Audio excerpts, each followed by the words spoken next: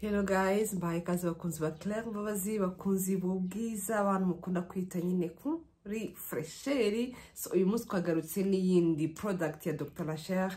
Naberetseho akavideo gatoya ndi kwihuta sinajya mu madetaye. Ariko reka nkwereke, urabona mfite umwera ni bwo maze gukaraba. Mpita nibuka ngomba kubaha routine, so ngiye kugira gute? Ngiye kubereka ibyo ushobora gukoresha mu gitondo wakoresheje vitamine E. Mpite profita no kubibasobanuriraho byinshi. So guys reka nkwereke vitamine E. Vitamine E ese ni iyihe? Iyi vitamine ni nziza cyane ku bantu bafite ah, uruhu rw'amavuta ni nziza cyane ku bantu bafite ama dark spot mu maso. Reba ukuntu mu maso hanjye hasa Mm, ni akantu. Akantu na kamwe kabisa mfite muri iyi minsi iyi vitamine iri kunkorera umuti pe. Kuko ngewe n'ubundi vitamine C murabizi ko mubabwira ko atari iy'abantu b'uruhu rw'amavuta n'iyo ifite uruhu rw'amavuta uyinginga hari ibyo utagomba gukora mu gitondo kugira ngo witwararike utaza kuza kurwara uduheri ariko iyi vitamine E ku muntu ufite uruhu rw'amavuta niyo byagenda gute. Niyo wayikoresha ryari nta kintu kimwe uzaba. Ikindi cyiza cyayo ni all type of skin. No kuba ufite uruhu rwumutse wayikoresha ufite ibiheri ufite udukovu cyangwa se ushaka nyine uruhu rwiza vitamine E nawe ujya ukora research urebe vitamine E imariye iki uruhu rwacu. Reka rero nkwereke ukuntu vitamine E imeze ndakwereka set ifite n'amadetaye kuko burya set iba ihenzemo ugereranyije n'amadetaye. Izi rero ni detaye kuko ntabwo ari buri muntu wese ushobora kugura seti yose. Iyi ni serumu ya vitamine E. Nureba urasanga nyine ikuraho ama dark spot ikindi ah, ivanaho ngo correct and clarified serum so ishobora gukuraho imyanda ah, ubwo ni utu- utukovu waba ufite ishobora kujya ku ma type ya skin ayo ari yo yose yaba ari urw'amavuta yaba ari urw'umutse yaba ari urusanzwe hose birakunda. Iyi rero serumu iba- imeze gutya. Aka ngaka. Urabona ko maze iminsi ndi kugakoresha. Ngaka. Kaba kameze. Ah, gafite mililitire mirongo itatu. Vitamine E yakoze utuntu dukeya n'ukuntu. Vitamine C tukari twinshi. Vitamine C yari mirongo itanu. Iyi rero ni um, cream yayo. Urabona yo ni amagarama mirongo itanu ko ni kanini. Ah, reba ukuntu iyi nawe byose ni cyo bivanaho ama, ama, ama dark spot ikaba ari natural moisturizing ikaba ikuraho free radicals usanga kamwe kadafite impamvu mubona ngo harimo ibintu byinshi. Ibyo kano gakora ntabwo ari byo kano kaba gakora. Kano kaba gafite ibyako gakora bitandukanye. Cream yayo ni uko iba imeze. Agakirimu kako ni uko kaba kangana. Ndabikwerekamo imbere tugendeye kuri seti yose ni uko agakirimu kaba kangana udashoboye kugura seti nguhereza tuno tubiri byibuze. Byibuze tuno tubiri. Rero vitamine E set urabona ni vitamine E ni hydration restoring skin care kit ikaba ivanaho dark spot ikaba ivanaho amascars ku mubiri wawe ngo nyine ni mu maso. Ikindi noneho igishimishe cyabyo irimo ibintu icumi. Urumva ukuntu iba ifunze ni uku nguku wawu nuko vitamine E iba imeze iyi rero ni facial cleanser iyi aba ari isabune ubona ni mililitiro mirongo inani ni nini Ah, iyi na yo ni mililitiro ijana sha ni nini tona yawo mililitiro ijana lotion yawo ni ya mililitiro ijana Um, BB cream. Ni gatoya ariko irakora ni, garama mirongo itatu Ah, izo twari twazivuzeho mu madetaye iyi ni serumu serumu yabo ingana na mililitiro mirongo itatu noneho um, iyi ni cream. Corrector cream yabo ifite amagarama mirongo itanu utu rero twitwa ampoule serum. Ujya no kuri google wandike ampoule serum ikora iti imeze gute? Kuko buri ah, ruganda rukora iby'amavuta usanga ruba rufite na byo ama ampoule. Buri gihe usanga zifite amasirimu usanga zifite amacreme ziba zifite amarosi rero ampoule iba iri strong cyane kurusha serum kurusha ibi byose mu kuvanaho ama dark spot. Ndaje rero nkwereka ukuntu bikoreshwa umuntu ahita avuga ko ari byinshi bino bintu umuntu yabikoresha gute? Harimo ibya night routine harimo n'ibya morning routine. Rero tugiye gukora morning routine ko ngiye kwitegura njye mu kazi.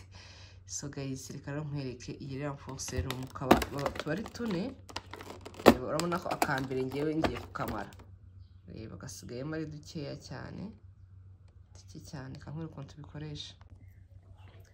So guys urabanza ukitosa mu maso cyangwa niba ufite up ukabanza ukazikuraho ukoresheje yaba coconut oil cyangwa se ufite demakiya aba afite demakiya narwaye inkorora niyo mpamvu wumva mfite gusarara ukuntu. Reba ukuntu bimeze ufata akantu gake karahagije urabona ukuntu kangana? Gake cyane. Gake pe. Kuko biba bikora product zo mu maso ntabwo ziba zikeneye ibintu byinshi. Do byonyine ako konyine do. Ntabwo nanjye nafashe na nyinshi reba. Iyi sabune iba ihagije mu maso. Ongera agafataho akantu kandi nafashe nyinshi. Ngomba kwitwararika izuru ryanjye singomba kugezaho isabune. N'ubundi kuri turitinga ukuntu mwambwiye kuri turitinga nafashe nyinshi ariko mfata gake cyane pe. Ngomba kwirinda ko ijya mu maso. Bikora gutya byibuze iminota ibiri burya ni bwo ikintu kiba cyinjiye mu mubiri kigiye gukora akamaro kacyo. Ntabwo uyikoza ngo babyita ngo imbagara. Fata gutya ugahita urangiza ndagira gutyo. Kwitwararika izuru ryanjye. Muri hangara ntabwo ndi bujye kubereka ukuntu ndi bwoge. Ariko roga gutya iminota ibiri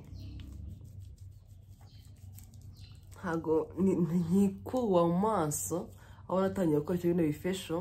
Keke iyo nakoze sikarabu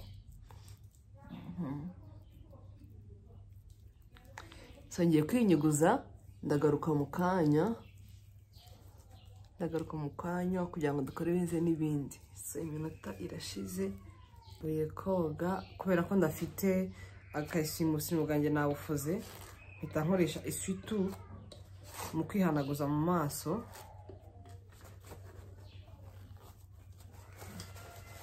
Ibyo birakora kubera ko iyo utizeye swime ugiye gukoresha mu maso ukoresha isutu niba buri siriko itanduye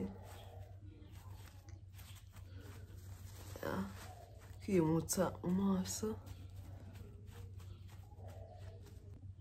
tugiye gukoresha iya kabiri ikurikiyeho ni tona iyo umaze koga urihanagura hari uburyo bubiri ushobora gukoresha ipamba tuno dukoto twihanaguza mu maso turagurwa mu ma alimentation turaboneka mu mafarumasi turaboneka.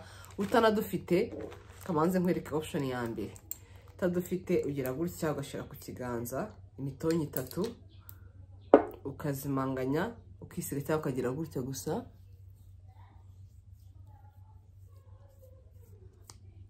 Ibi ni byo benshi banakoresha kuko uvuga ati eee njya gusipendinga ibihumbi bitatu ku ipamba cyangwa ibintu magana atanu ku ipamba cyangwa se ukaba ufite ka ka eponje ka kakoto kawe ugashyiraho imitonyi ibiri cyangwa itatu warangiza ukagira gutya.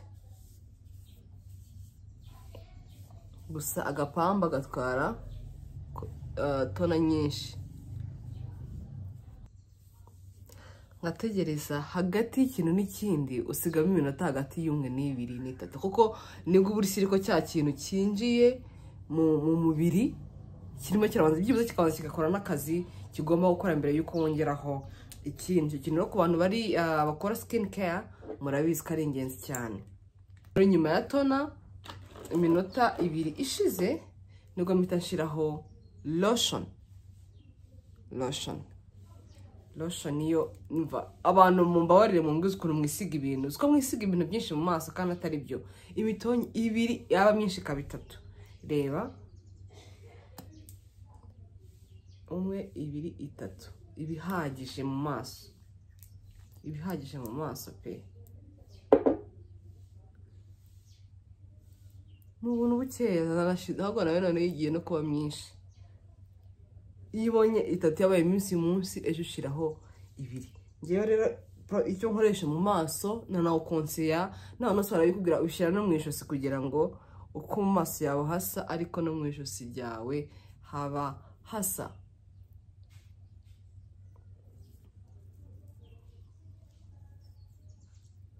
Ngomba gukatira izuru ryanjye. Ah, nisize menshi reba yose ukuntu angana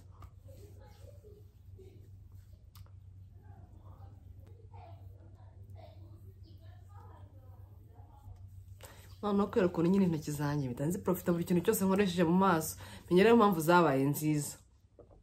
Urabona ukuntu zimeze? Akantu kose nsize mu maso mpita nsiga no ku ntoki kugira ngo nyine ndebe ko naprofita zikaba nziza. So maze kumva ko ya mavuta nawe uhita ubyumva ko ikiza cya vitamine i utawumva wumutse amavuta yinjiye nyine mu ruhu nawe uhita ubyumva itandukaniro n'ukuntu yari ameze.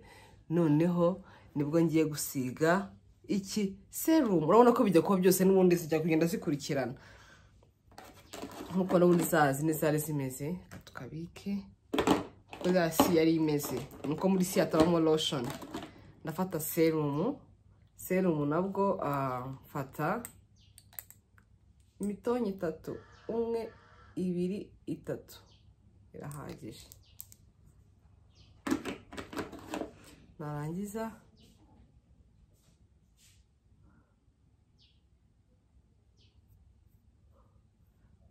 Ngomera aho mbona hirabura cyane. Imitonyi itatu irahagije inshuti yanjye mwisiga mute mu maso. Itatu ma- maximum ni itatu.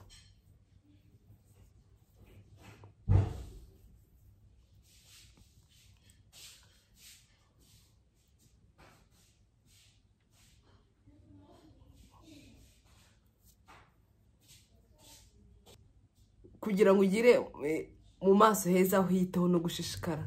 Ubu murahita muvuga ngo henga iyo minota ibiri yose ngo ntayo nabona eh, icyo umukobwa ashaka bigenda gute? Yego. Ni uko bigenda nyine iyo nteruro muzayirangize. Eh, ako umutima ushaka. Icyo gihe ni bwo byinjira bikajya gukora icyo bigomba gukora. Oh my god ni iminsi ndi kwikunda pe. Ah, iyi rero ni cream corrector cream. Ni ikurikiraho nyuma ya serumu reba ukuntu imeze. Ni nk'amavuta asanzwe ya- yawe usanzwe ubona ya rosiyo baraho duke cyane.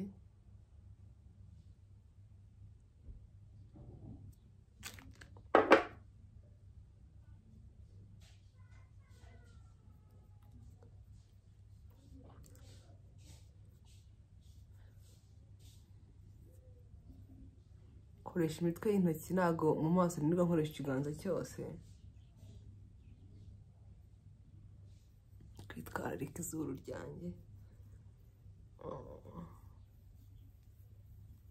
Rero nkaho turangije hasigaye bibi kirimu urahita ubona itandukaniro rero. Bibi kirimu birimo porotekisheni haba harimo sani kirimu haba harimo ah, ntabwo wayisiga ngo wisige na sani kirimu ubwo urumva ikiza cy'iyi seti iruzuye.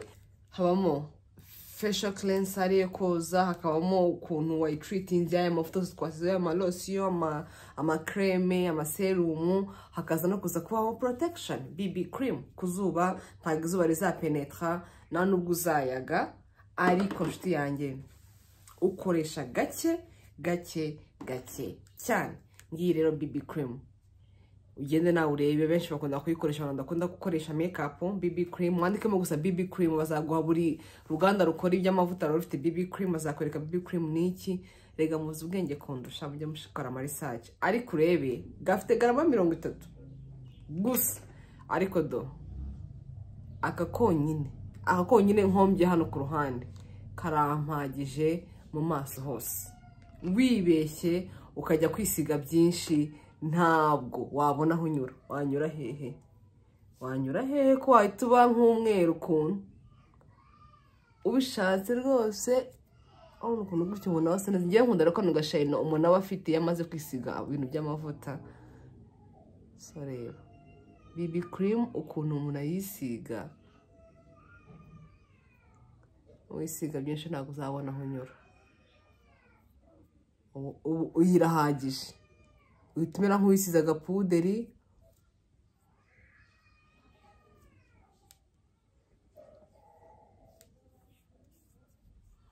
Ngewe ko mekapu nahise nzikatira abantu turi duhura mu mujyi simubibona ntiga mpura n'abashuti mpura n'abantu kirere turagufana.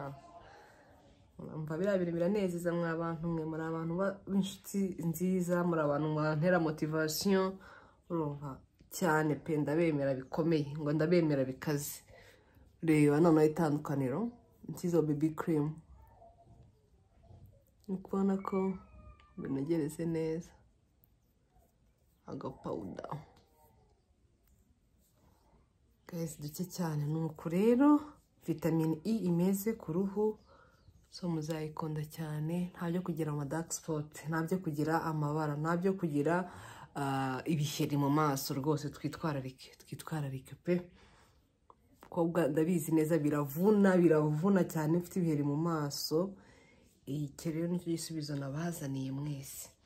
Rero utu tu duserumu utu ngutu dukora nijoro gusa.